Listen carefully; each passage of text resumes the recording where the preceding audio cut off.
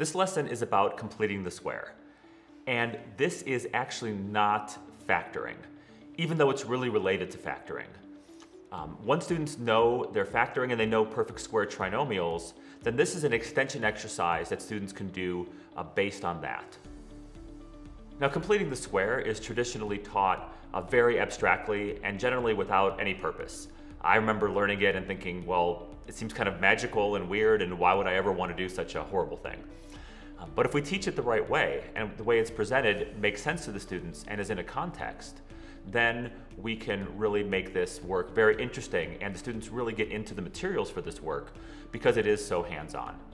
So as long as students know perfect square trinomials, they can do this work and then the extensions and the natural applications of completing the square right away.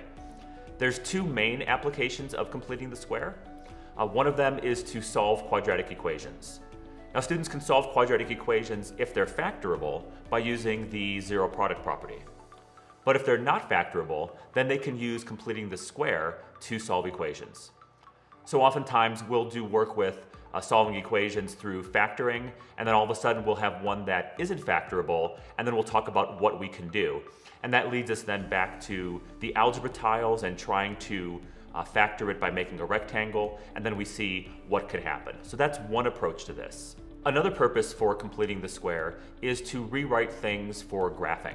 So when we have quadratics and we want to put things in vertex form, completing the square will allow us to graph it in a form that's very useful and uh, very simple to graph. So there's lots of applications of completing the square. And generally, I use it when we're doing solving equations. Uh, we're solving those quadratics, and all of a sudden we have something that's not factorable, and that leads us back to the algebra tile work. And so that's how it's going to be presented here, not necessarily to solve an equation, but in relation to the um, trinomial factoring that we've done previously.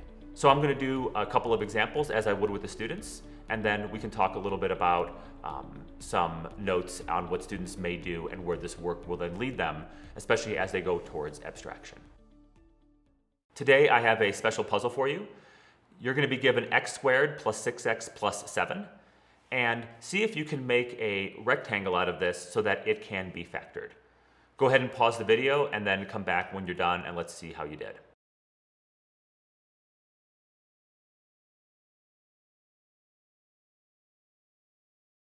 So how did you do? You probably couldn't factor it. And that's not your fault. It's not because you weren't clever enough. It's because it actually can't be factored. And so oftentimes when we try to factor something and we can't factor it, we have to ask, well, is it because I'm just not seeing it I'm not clever enough? Or is it because it actually can't be factored? So let's see why this can't be factored. So here's our x squared, and then here's our seven units. And we know our seven units have to make a rectangle, and this is the only possible rectangle that we can make. Now, what we could do is, we could try to put our six x's here, And then we might be tempted to say, oh, I can just put a zero pair here to make this a full rectangle. Because we've done that before, right? We've added, we, this is still 6x. It's seven positive x's and one negative x. But why can't we do that here? And the reason we can't is because this is positive. And when we have a positive here, we know that we have to have either a positive and a positive on both sides or negative and negative. Because right now this unit here would have to be negative one in order to match the negative and positive side.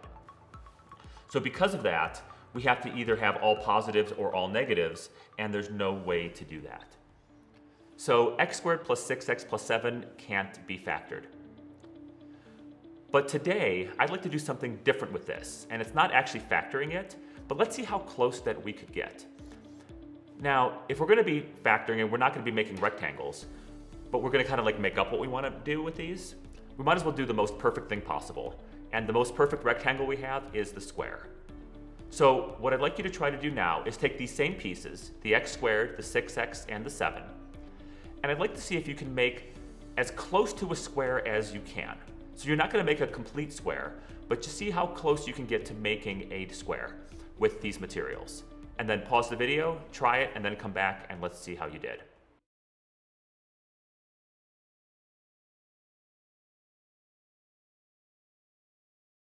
Okay, So let's see how you did. Here's how I did it. I have the frame, so the frame is perfectly symmetrical, and I have these two little pieces missing down here, these little units, so it kind of looks like a square, but I don't quite have it filled in all the way. And man, it would sure be great if it was a complete square. And so you know what? I do want to make this a square, and so I'm just going to put these two right in here, and now I've done it. So now I have made a square. And hopefully you're sitting there saying, you just can't do that because I've changed the amount. Now I have x squared plus 6x plus 9, which is a perfect square, but I only have 7, and I can't just do that. So if I want to make a complete square, I can't just add these two, but we can do this. I can add two zero pairs to my picture. Now if I look at my units, this is still positive 7. And what we can do is we can take these two green units and put it in here. And now I have my square, but I have these two little guys left over here. So what have I done? We've made a square that's x plus 3 squared. So that's kind of like factoring it like we did before. But because this isn't factorable, I'm going to have this little bit left over, this minus 2. So what this tells us is that x squared plus 6x plus 7 cannot be factored, but I can get really close.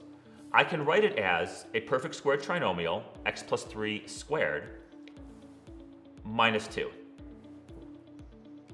Now why isn't this in factored form? Because I don't have a product here. I have a product here with x plus 3 squared, like that's something times itself. But then I have this minus 2, so I have this extra um, addition or subtraction, in this case, on the end. But if we don't have something that's factorable, we can do this. And this is going to be really helpful to us uh, later on, and we'll do some applications of that. This process is called completing the square. Why? Because we can make a square, or as close as we can to a square, and it's going to be incomplete in some way. So what we do is we make the square, and then we have a little bit left over, and that's how we can rewrite expressions that aren't factorable. Let's go ahead and try one more example. X squared minus 8x plus 19. Now, I'll tell you right now, this will not factor, so you're not gonna be able to make a rectangle out of it. So instead, see if you can complete the square. That is, you're gonna make a square, but then you're gonna have a little bit left over. And so you might have to use zero pairs or some other technique to do that. So see if you can take these materials and make them into a square with something left over. Go ahead and pause the video and then come back when you're done.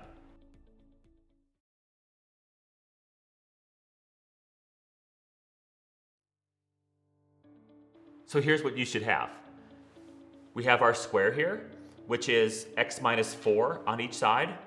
And then we wanted to have 16 squares here, but we had 19. So we just have these three uh, units that are left over. So how can we rewrite this? Well, we just label what we see. We see that we took our pieces and we have x minus 4 squared. And then we have these three left over. And so we can rewrite x squared minus 8x plus 19 as x minus 4 squared plus 3.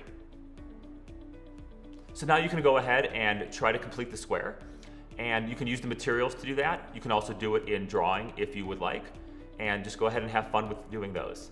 And again, as you work, see if you can find some patterns. See if you can see what's happening and find some techniques to make the work as easy as possible for you.